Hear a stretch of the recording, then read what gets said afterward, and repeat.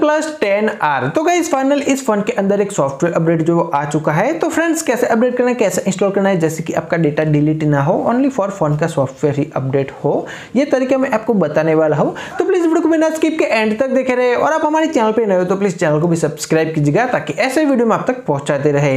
Hello welcome दोस्तों, मैं हूँ किशोर, आप देख रहा हो राधे बीट सो आई चलिए देखते हैं।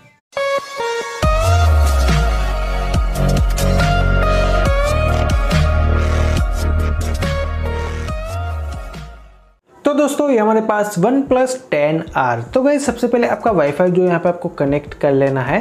जैसे गए आप वाईफाई कनेक्ट करते हो, फिर आपको चले जाना है सेटिंग्स में। सेटिंग्स में गए जैसे ही जाओगे तो यहाँ पे आपको अबाउट डिवाइस का एक ऑप्शन देखने को मिल जाएगा। यहाँ पे सिंपल एक बार आपको क्लिक करना है और यहाँ पे आप देख सकते हो ऑक्सीजन ओ एस यहाँ पे आपको क्लिक करना है।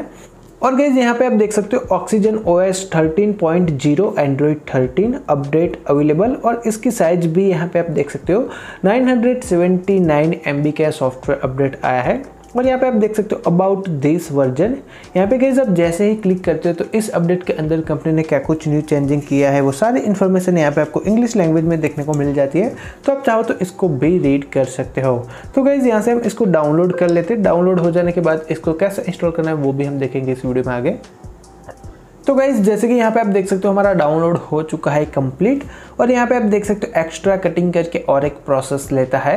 ये प्रोसेस जब तक 100 परसेंट ख़त्म ना हो जाए, तब तक आपको जो वेट करना है। और एक बात फ्रेंड्स कि, जब भी आप अपना स्मार्टफ़ोन जो अपडेट करते हो तो आपका चार्जिंग जो यहाँ पे आपको फिफ्टी से ऊपर रखना है।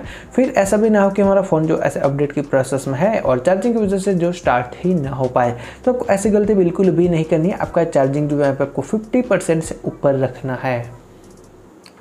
तो दोस्तों, यहाँ पे आप देख सकते हो एक्स्ट्रा कटिंग करके ये जो प्रोसेस है, वो कम्प्लीटली ख़त्म होने वाली है। और ये तकरीबन फाइव मिनट जितना टाइम लगता है कम्प्लीटली ख़त्म होने में। और गैस यहाँ पे वेरीफाइंग करके और एक प्रोसेस लेता है। ये बहुत ही फास्टली हो जाती है, जैसे कि यहाँ पे आप देख ही सकते हो।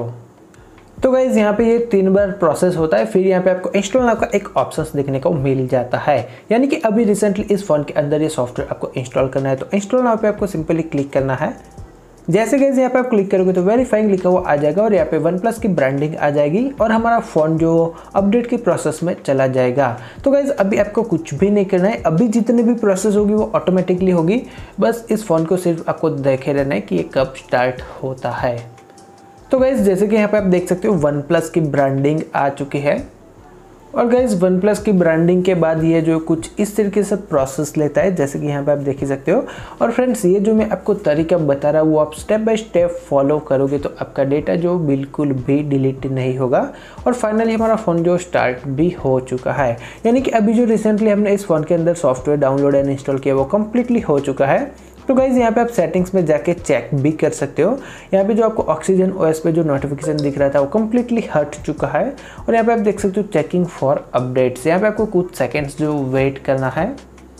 और दोस्तों यहाँ पे आप देख सकते हो वर्जन अप टू डेट यानी कि कुछ इस तरीके से आप अपने वन प्लस टेन आर के अंदर सॉफ्टवेयर डाउनलोड एंड इंस्टॉल कर सकते हो।